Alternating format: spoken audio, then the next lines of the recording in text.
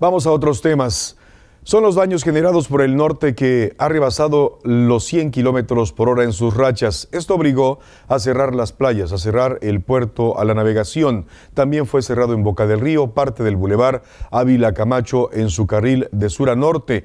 La fuerza del viento desprendió el techo de un autobús de pasajeros. Afortunadamente no hay lesionados. Las fuertes rachas del norte originadas por el Frente Frío número 30 causaron afectaciones menores en los municipios de Veracruz y Boca del Río. Debido al oleaje generado por el fuerte viento, las playas de ambos municipios fueron cerradas y se colocaron las banderas rojas. El puerto de Veracruz fue cerrado a la navegación mayor y menor. Durante el día las rachas del norte se incrementaron. Por la tarde alcanzaron los 100 kilómetros por hora. Sobre la avenida Ruiz Cortines a la altura de la avenida Reyes Heroles, a un autobús de la ruta Lomas 4 por las fuertes rachas del norte se le desprendió el techo. No se reportaron lesionados, solo daños materiales cuantiosos.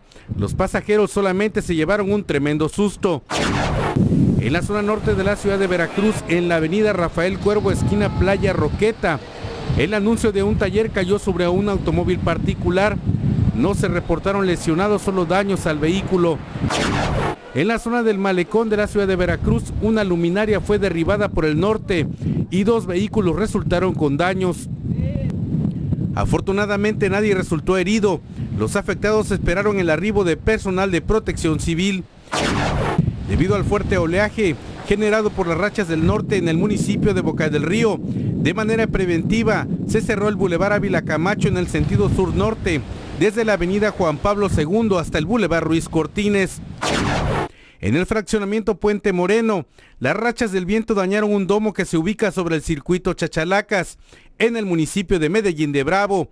Personal de protección civil acudió para atender la emergencia.